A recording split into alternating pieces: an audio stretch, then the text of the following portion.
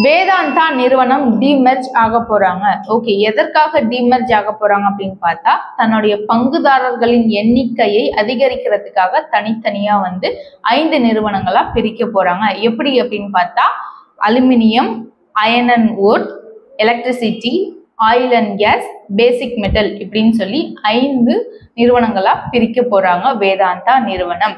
இந்த வேதாந்தா நிறுவனத்துடைய ஒரு ஷேரை நீங்க வச்சிருக்கீங்க அப்படின்னா இந்த ஐந்து நிறுவனம் தனித்தனியா பிரியும் பொழுது தலா ஐந்து நிறுவனங்களுடைய ஒவ்வொரு ஷேர் உங்களுக்கு கிடைக்கும்.